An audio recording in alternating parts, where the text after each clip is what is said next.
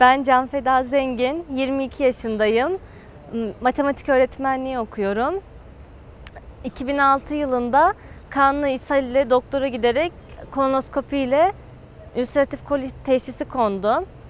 5 yıl 5 beş, buçuk yıl boyunca çok zor şeyler yaşadım. Ee, Liseye gidiyordum o zaman. Tüm lise hayatım hastanede geçti. Herkes böyle lise anısını anlatınca okuldan bahsediyor. Benim için sadece hastane demekti. Ee, Hiç iyi olduğum zaman hatırlamıyorum. Ülseratif kolit olduğum zaman boyunca sürekli hastanede yatıyordum. Devamlı bir, bir ay çıkıyorsam gene iki ay hastanelerde yatıyordum. Bana orada da e, hastalığımdan bir yıl geçtikten sonra ameliyat olmam söylendi. Ameliyat olsan daha iyi olur dendi. Ben hep korktum, geciktirdim. Sürekli yeni ilaçlar denendi. Kortizon kullandım iki kere.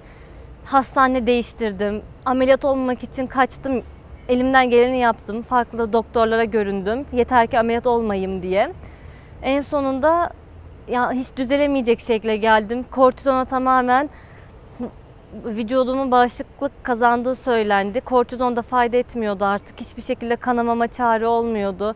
Sosyal hayatım sıfır olmuştu. Dışarı çıkamıyordum. Sürekli korkuyordum. Otobüse binemiyordum. Sürekli aklım tuvaletteydi. Hani Derse girsem ders dinleyemiyordum. Tuvalet düşünmekten. Hiçbir yere çıkıp gidemiyordum. Ne sinema ne arkadaşlık. Mecbur kaldım. Cerrahla görüştük.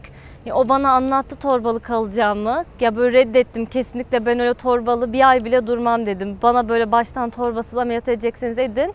Yoksa ben o torbayla insan içine çıkamam. O ses olur, e, koku olur, görüntü kirliliği olur. Herkes anlayacak, arkadaşlarıma rezil olacağım diye reddettim. Ama artık hani başka çaresi kalmamıştı ameliyattan başka. E, Ameliyat zamanı geldiğinde hala istemiyordu yani içim böyle torbalı kalmaya çok üzülüyordum. Bu yaşta ben nasıl torbalı olacağım, insanlara nasıl açıklayacağım diye çok utanıyordum. Hiç kimseye de söylememiştim zaten böyle ameliyat olacağımı. Ameliyat olacağımı biliyorlardı ama torbalı kalacağımı hiç böyle akrabalarımıza, yakınlarımıza bile söylenmesini istemiyordum. O kadar rahatsızdım bu durumdan. Ee, Ameliyat oldum. İlk başta hani her ameliyat gibi sıkıntılıydı. Stoma yani zor bir şey ilk başlarda. Ama hemşiremin, doktorun, cerrahların yardımıyla hem böyle psikolojik olarak hem yani böyle her yönden desteklemeleri beni, açıklamaları, her soruma cevap vermeleri, bu zor günlerin biteceğini açıklamalarıyla ikna oldum. Ee, Ama böyle çok mutsuzdum torbada. İlk başta böyle bakmayı bile reddediyordum. Ameliyattan 3-4 gün sonra yoğun bakımdan çıkıp servise geldiğimde ilk orada değiştirim bakımı yapılırken sürekli ağlıyordum, nefret ediyordum ondan. Görmek bile istemiyordum torbayı. Ben bu şekilde hani ziyaretçim gelsin istemiyordum. Torbalı olduğumu kimseye söylemeyin diyordum. Hatta ben ameliyat oldum. Torbalı kalmadı. Direkt bağlandı denmesini istiyordum. O kadar utanıyordum torbalı olmaktan. Sonra çıktım. e, Böyle baktım gitgide acılarım azaldı. Karın ağrısı hiç kalmadı ülseratif kolitteki gibi. Ya Gitgide hayatım böyle çok mükemmel olmaya başladı. Hiç ben de ya bir ay sonra ameliyattan geziyordum. Her şeyi unutmuştum. Gayet rahat kendi torbamı değiştiriyordum. Okulum açılmıştı zaten. Sosyal hayatımdan geri kalmadım. Arkadaşlarımla tekrar gezmeye başladım. Tuvalet derdim bitmişti. Dışarıdan belli olmuyordu kesinlikle torba. Ben çok dar giyinen bir insanım zaten kıyafet olarak. İstediğim darlıkta pantolon olsun, tişört olsun giyiyordum. E, Acı da olmuyordu orada dar giyindiğimde. Görüntü de olmuyordu. Zaten koku, ses hiçbir şekilde olmuyor. Kimse anlamıyor. Siz söylemezseniz yakınızdaki insanlar bile sağ tarafta mı sol tarafta mı unutuyor her gün gören insanlar bile. E, bu şekilde 6 ayım geçti. Alışveriş merkezlerinde e, gerektiğinde değiştirdim kabinde çok rahat bir şekilde. Yanınıza almanız yetiyor zaten.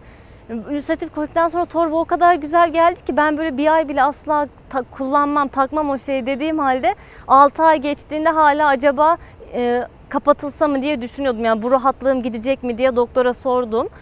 E, o da ilk başta zor olacak dedi ama aynı böyle torbanın gelişimi gibi olduğunu söyledi. Gitgide düzeleceğini söyledi.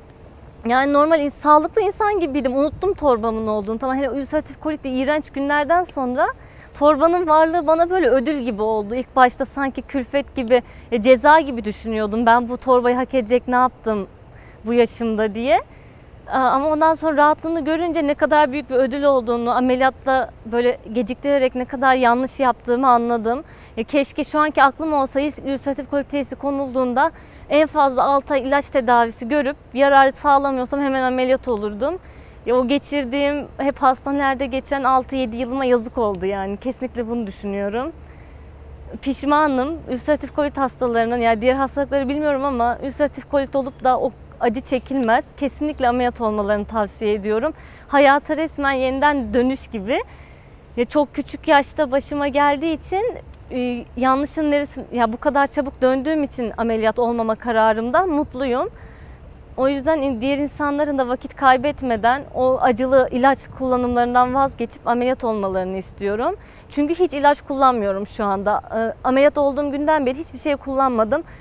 E, Şu anda da kapatıldı stomam. Çok mutluyum. Hiç iz kalmadı özellikle bayan hastalar için. Bu sene de denize gittim. Hiç belli olmuyor izim. Ne iz kaldı ne bir şey. Çok rahatım. E, Tuvalete gitme sıklığım aynı normal sağlıklı insan gibi. Yani bir kere iki kere günde.